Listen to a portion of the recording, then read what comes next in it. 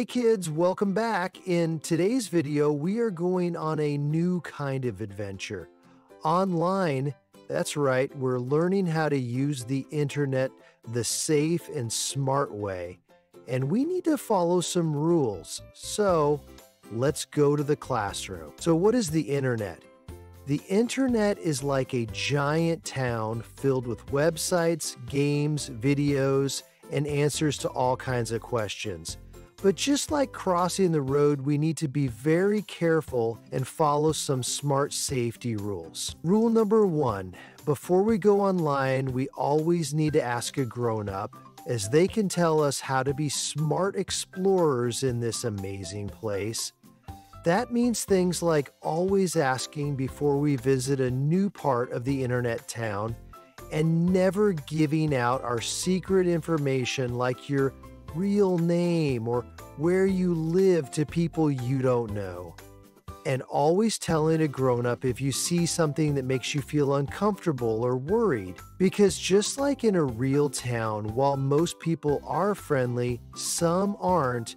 So we need to know how to keep ourselves safe and happy in this incredible internet world. Rule number two Keep your information private. Think of it like your own treasure chest. It's super important to never share your name, your address, which school you go to, or any pictures of yourself with people you don't know online. That's your secret treasure chest, and you should keep it tightly locked. Only trusted grown ups, like your parents or loved ones, should ever know what's inside your special chest.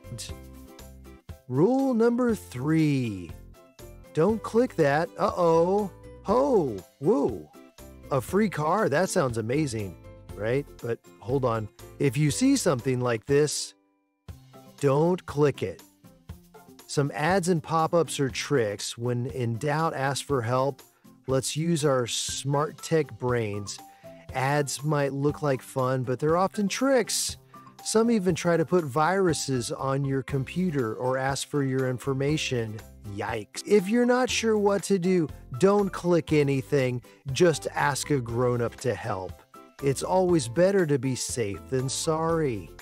Remember, if something pops up and it looks too good to be true, it probably is. Be smart. Be safe and don't let tricky pop ups fool you. Rule number four be kind online. When you're online, your words matter. Just like when you're talking to your friends at school or at home, nice messages make people feel happy. A kind word can brighten someone's day, even through a screen. But sometimes People say mean things online that's called cyberbullying, and it's never okay. If you see something hurtful or someone's being unkind, don't reply. Just tell a grown up and let them help.